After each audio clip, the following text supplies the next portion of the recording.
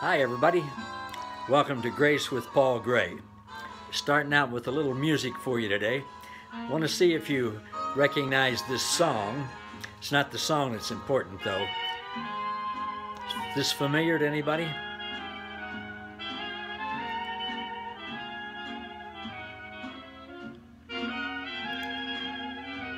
Let me turn it off and we'll talk about it.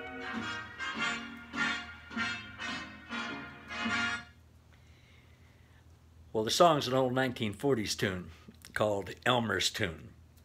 But it's not the song I want to talk about today, it's the sound. That particular sound, for those of us who, I didn't live during that time, I was born in 47, but for those of us who love that type of music and listen to different bands from the big band era, automatically that sound, we know that that's the Glenn Miller Orchestra. There was a great movie starring Jimmy uh, Stewart about the Glenn Miller story. Now, I don't know how factual it is. A lot of the, a lot of the uh, shows like that, and especially in that uh, time, were not very factual. But it, but we do know, those of us who studied this type of thing, we do know that Glenn Miller worked real hard. He had something in his mind that he just couldn't quite grasp. And then one day it came to him, and that was, in his words, the sound. Now, I could tell you exactly musically what makes that sound, but that's not important. He came up with that sound, and the moment that his band, uh, which was very nondescript and not very successful, the moment he started using arrangements with that sound, it just took off and exploded and became one of the most famous uh, bands ever in the history of, of bands, really.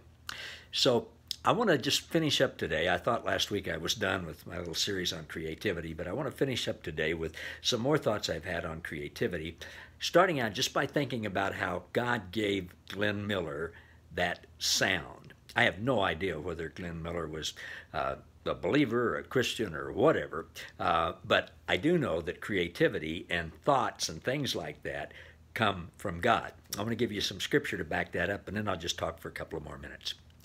Uh, Romans 4:17. God gives life to the dead and calls into being that which does not exist. And Dr. Kay Fairchild says that uh, her understanding of a, of a better translation for that would be that God makes something out of the unseen. He takes something that's unseen and then puts it in the seen realm where we can see it. Then Hebrews 11, uh, verses uh, 1 and 3, the writer says this Faith is the substance of things hoped for, the evidence of things not seen. By faith, we understand that the worlds were framed by the Word of God, so that the things which are seen were not made of things which are visible. And then Jeremiah 33 3. The New King James says, This is God speaking, Call to me and I'll answer you, and I'll show you great and mighty things which you do not know. The message version says, This is God's message. The God who made the earth, made it livable and lasting, known everywhere as God, says this Call to me and I will answer you. I'll tell you marvelous and wonder, wondrous things that you could never figure out on your own. God, the great creator, is still creating, and he creates now in partnership with us. At our group here this morning, we talked about this creativity thing, and one of my friends, who's part of our group, runs a manufacturing plant. And he told us today how he will have dreams at night. He'll have a dream, he'll wake up, and in that dream, God has shown him how to build from scratch a machine that can manufacture something or help with something that's needed for his business. So he'll wake up, he's got the idea about this machine, and he'll start actually building the machine. Sometimes he'll get some other people involved in, in helping with that. He'll build the machine and then use it, and it actually does exactly what God showed him it would do. Then he goes back and figures out how it actually works. He doesn't yet know at that point exactly how it works. And he figures out mechanically how it works, and then he figures out what needs to be done to keep it running optimally and, and then to repair it and fix it and things like that. it, it's an amazing thing. And he says those things just come totally from God. God creates today. He creates through us. He partners with us.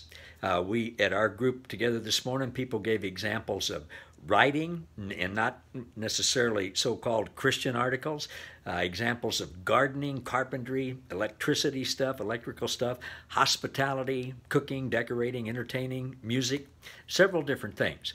So I hope that this is encouraging to you that God still wants to create through you, as you, partnering with you. It doesn't make any difference. At our group here, we, we had people that are close to 90 years old. Uh, we had young families with little kids and, you know, people in between. It doesn't make any difference how old you are. It doesn't make any difference your position in life or how much money you have or how much education or, or training or anything like that. God has given us all creative abilities in some area of our life. And He gives us the delights of our hearts and He loves to create as us. It gives him great joy and it brings us great joy too.